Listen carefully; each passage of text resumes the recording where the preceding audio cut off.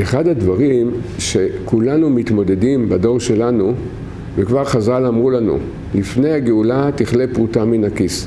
הקשיים בפרנסה. הקשיים בפרנסה, איך אנחנו מתמודדים עם כל כך הרבה התמוד... קשיים. דבר ראשון צריך לדעת, לשים לב, כשאדם יש לו קשיים, שישים לב שבעצם הרבה מאוד הוצאות הן מיותרות. באמת אה, אפשר לוותר על הרבה דברים ולא נרגיש שום חסרון בזה.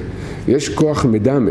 השיווק היום בעולם נותן לנו דמיונות כאילו אנחנו צריכים דברים. ובאמת הרבה, הרבה מאוד מהדברים שאנחנו חושבים שאנחנו צריכים, אנחנו לא באמת צריכים אותם. רק מה, זה שטיפת מוח, מה שעושים היום בדור שלנו, שוטפים לנו את המוח, כביכול אנחנו צריכים את הדברים האלה.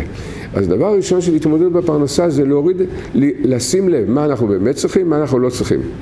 אומר רבנו שהשפע והעשיית הדשמיא של הפרנסה באה על ידי אמונה. ואמונה זה, יש בזה כמה וכמה בחינות. יסוד אחד באמונה זה, רבנו אומר, כפי האמונה כך אדם מתפלל. האמנתי כי אדבר. על ידי האמונה יש דיבורים עם השם, וצריך לבקש הרבה מהקדוש ברוך הוא. לדבר איתו הרבה, על ידי הדיבור עם השם ממשיכים שפע גדול מאוד בפרנסה. דבר נוסף, כשמשתדלים לעבוד על מידת הכעס, כי מידת הכעס זה אחת המידות שמונעות את הפרנסה, צריך להשתדל מאוד להתגבר ולעבוד, על כל פנים להתפלל על זה, לחשוב על זה, לרצות את זה. על ידי הבחינות האלה אפשר לעבור בשלום את כל הקשיים של הפרנסה שעוברים על הדור שלנו. להקדשת השיעורים של הרב להצלחה, לזיווג, שלום בית, רפואה, לעילוי נשמת.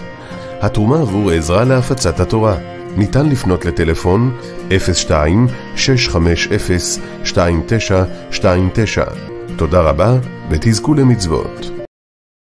הירשמו לערוץ של הרב ויישארו מעודכנים.